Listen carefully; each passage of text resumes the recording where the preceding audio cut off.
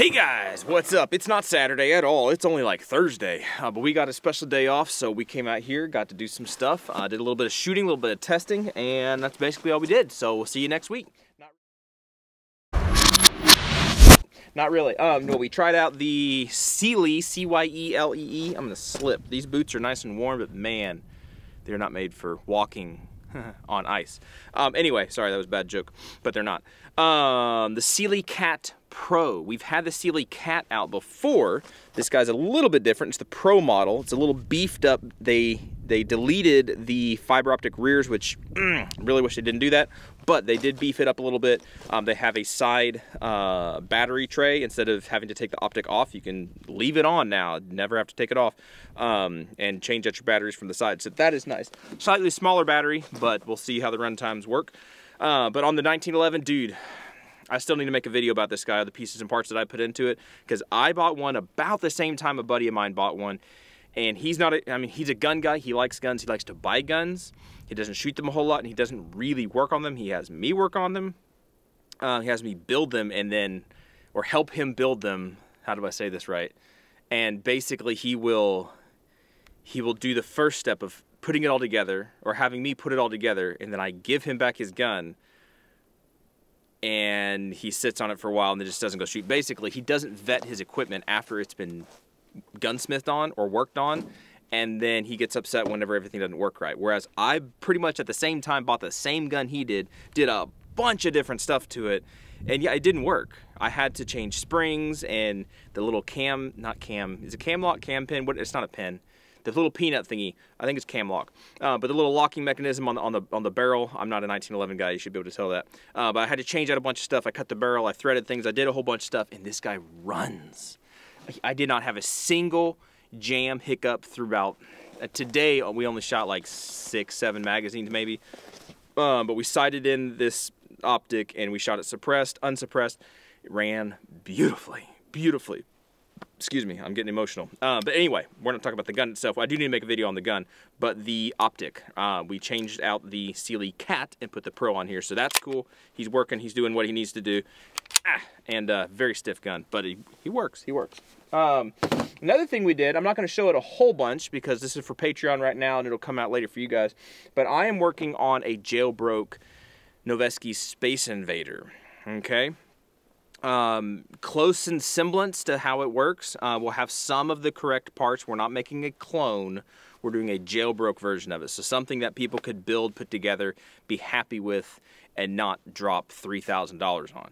That's the idea. So we worked on that today, ran into an issue that I thought was going to just just ground the whole project. Like, great, I started this thing, I got neck deep into it and now it's garbage. No, we actually just needed to tinker with it, which is why you got to vet your stuff and not get upset when it doesn't work. You got to vet it, work it, and then work it out. So that's what we did with that guy.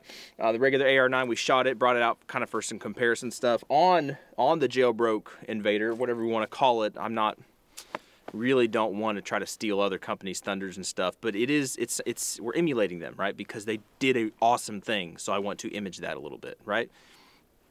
It's my version of it they can have their version of it. My version's not as good. It's their version of it. Anyway, uh, but we tried out three different suppressors. The R9, YHM R9, CGS Mod 9SK, and the Silencer Co. Omega 9K. Three K cans, short cans, uh, specific for 9mm. I think all of them, but maybe the CGS Mod 9 SK. I think the other two are specific for like pistol caliber carbines specific for pistol caliber carbines. Then they work on pistols. I think the Mod 9 SK is made for pistols because it is louder. There's no getting around that. It's smaller, but it's louder. Um, other than that, um, some, some, smoke in the background. We set some stuff on fire. That was fun. Um, and we just piddled around. We did some we did some interesting stuff. I'll throw some stuff up on Instagram, some little reels and things. Um, I thought it was fun. In general, we just came out had a good day. It's a good day. It started out a little bit cold. I think right now it says 24 degrees. It was in the teens this morning with a little bit of wind. And man, once you get in the teens, it's cold. Once you get in the teens with wind, oh, it just it can be a really sucky day. And out here, thankfully, we're kind of able to get back to where we usually go. Um, stuff's starting to thaw out and freeze hard and thaw out and freeze hard. So that allows us to get back a little bit different places because we're driving on ice instead of packed, uh, you know, two feet deep of fluffy snow with six inches of crust on top. You break through that and you get stuck. This is what would happen last time I came to this this place. But anyway, regardless, stuff's moving, stuff's drying, not drying, stuff's uh, warming up a little bit technically. Um, so before long, this place will look like a big mud pit, and then the everything will come to, back to life. Anyway, that has nothing to do with range report. That's it. That's pretty much all we worked on. It was a very short, simple day. Um, I just took my time, did some stuff. Kind of felt off my feng shui a little bit. Um, I think it's just because it's a Thursday, it's not a Saturday. I didn't really have time to prep for this one, um, so some of the content may not be as up to par as I like it.